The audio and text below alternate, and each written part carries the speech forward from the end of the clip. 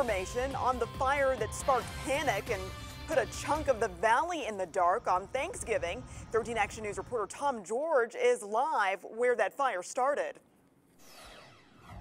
Well, Carla, this was certainly a Thanksgiving those families who live here won't soon forget. When the lights went out, they say they had no idea what was going on. Well, turns out it was all caused by a fire here at this substation just a few blocks away from their neighborhood. It took crews about three hours to get that fire out and the power back on. But in the meantime, those families had to spend part of their Thanksgiving in the dark.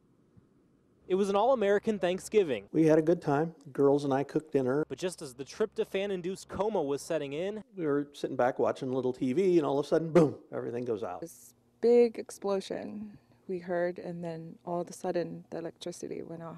A Thanksgiving surprise that left neighbors wondering what happened. We thought it was something like much bigger, like you know, zombie apocalypse or something with all the Oh, they were talking helicopters about the and purge? and all. The, yeah, the kids are like, "Is it the purge, Dad?" It wasn't the purge, but it turns out it was a pretty large fire at a substation nearby. Video from a viewer shows the flames gushing out.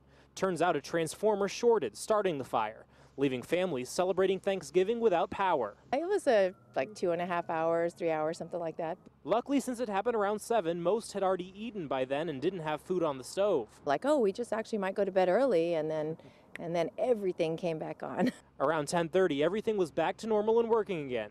Just enough time for the leftovers to be safe too. Everything's still working fine. Now, Nevada Energy says they will have to replace that broken transformer. Now, in the meantime, coming up tonight at 6, why some of these families say this was actually a blessing in disguise and how all this crazy situation actually showed them the true meaning of Thanksgiving. For now, reporting live, Tom George, 13 Action News.